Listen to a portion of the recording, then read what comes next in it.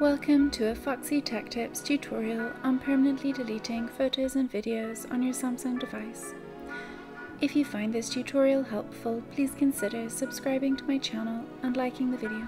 When you delete photos and videos from your phone's gallery, they are not fully deleted but are moved to a trash folder. They will be kept there for 30 days and will then be permanently deleted. If you want to permanently delete them immediately, Rather than waiting for them to automatically delete, here's what to do. Open up the Gallery app on your phone and tap on the three lines button in the bottom right.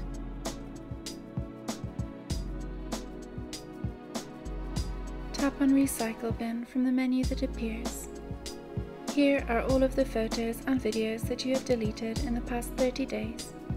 At the bottom of each image it says how many days it has left before it will be permanently deleted. Tap on the image you want to permanently delete and then tap delete in the bottom right corner of the image.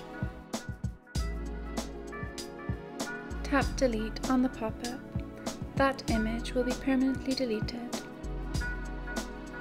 You can also choose multiple photos and videos to permanently delete by tapping edit at the top selecting several photos or videos, and then tapping delete in the bottom right.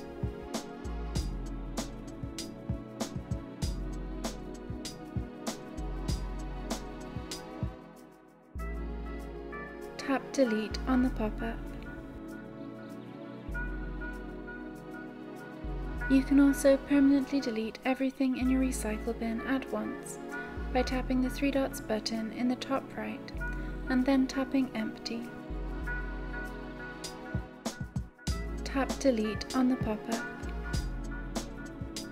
If you don't want your photos and videos to be moved to the recycle bin when you delete them, but instead want them to be immediately deleted, you can disable the recycle bin altogether. This is a super risky thing to do though, because if at some point you delete a photo or video by mistake, there will be no way to get it back.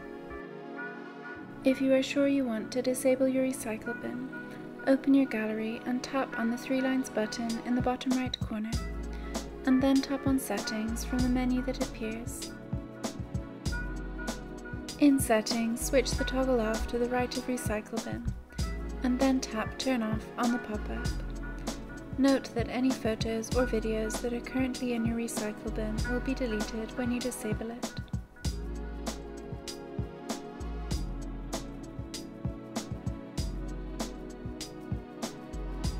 Now when you delete photos or videos, they will immediately be permanently deleted.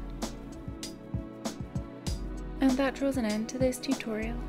Please like the video if you found it helpful, and subscribe to Foxy Tech Tips for more Samsung tips and tricks.